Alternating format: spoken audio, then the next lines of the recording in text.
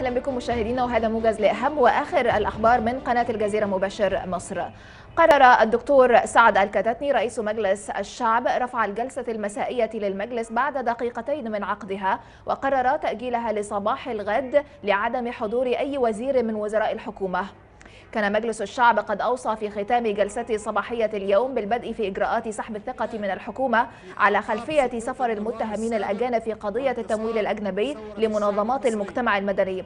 كما أوصى المجلس بتحديد موقفه من المعونة الأمريكية ومطالبة الحكومة بإعادة الشيخ عمر عبد الرحمن وجميع المعتقلين المصريين في السجون الأمريكية.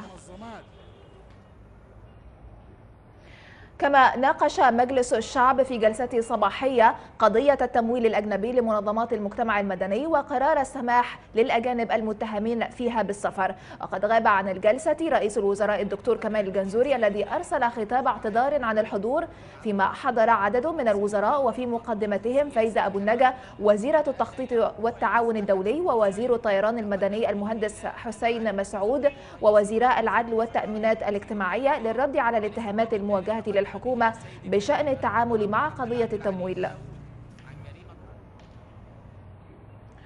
وفي شأن برلماني آخر اتهم أعضاء لجنة الإسكان في مجلس الشعب الحكومة بإهدار المال العام من خلال بيع المياه لشركة موانئ دبي العالمية التي تدير ميناء العين السخنة بأسعار زهيدة تصل إلى جنيه وربع للمتر المكعب. في حين تعيد الشركة بيعه بستة دولارات وهو ما يهدر موارد ضخمة, ضخمة على خزينة الدولة. قررت لجنة الاقتراحات والشكاوى بمجلس الشعب إحالة مشروع قانون السلطة القضائية إلى اللجنة التشريعية تمهيدا لعرضهما على المجلس لإقرارهما. وينص مشروع قانون السلطة القضائية الذي أعدته لجنة قضائية برئاسة المستشار أحمد مكي على أنه لا يجوز للنائب العام أن يبقى في منصبه أكثر من أربع سنوات على أن يعين من قبل مجلس القضاء الأعلى وهو ما يعني إنهاء خدمة النائب العام الحالي.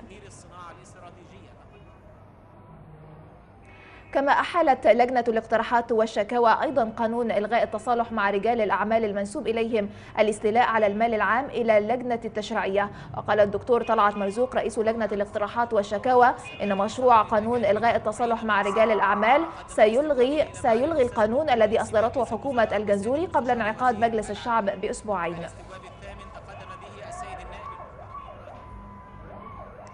أكد المستشار حاتم بجاتو أمين اللجنة العليا لانتخابات الرئاسة أن عدد من تقدموا اليوم لسحب استمارات الترشح لانتخابات رئاسة الجمهورية حتى عصر اليوم وصل إلى 80 مواطنا من بينهم ثلاثة من الأقباط ومعاقان وقال بجاتو إن إجمالي من حصلوا على استمارات الترشح منذ فتح باب الترشح أمس وحتى عصر اليوم بلغ 280 مواطنا. يأتي ذلك بينما تواصل مكاتب الشهر العقاري تلقي طلبات استخراج توكيلات المواطنين لتأييد مرشحيهم للرئاسة.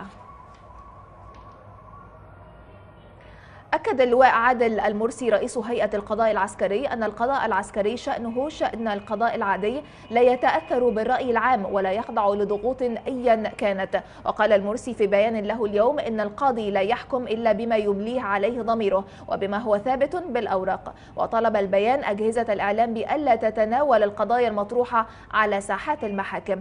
جاء بيان المرسي في أعقاب حكم البراءة الصادر من المحكمة العسكرية اليوم ببراءة المجند الطبيب أحمد عادل الموجي في قضية القضية المعروفة إعلاميا باسم كشوف العذرية. وقع كل من وزير الخارجية محمد عمرو ونظيره العراقي هشام زباري اتفاقا يتم بمقتضاه السداد الفوري للحوالات الصفراء المستحقة للمصريين العاملين في العراق سابقا. وتبلغ قيمة مستحقات الحوالات الصفراء 408 مليون دولار تخص 670 ألف مواطن مصري ممن كانوا يعملون بالعراق خلال حكم الرئيس السابق صدام حسين. انتهى موجز الأخبار ولمزيد من المتابعة والتفاصيل. يمكنكم زيارة موقع الجزيرة مباشر مصر على الإنترنت ومتابعة البث الحي على الموقع ذاته. إلى اللقاء.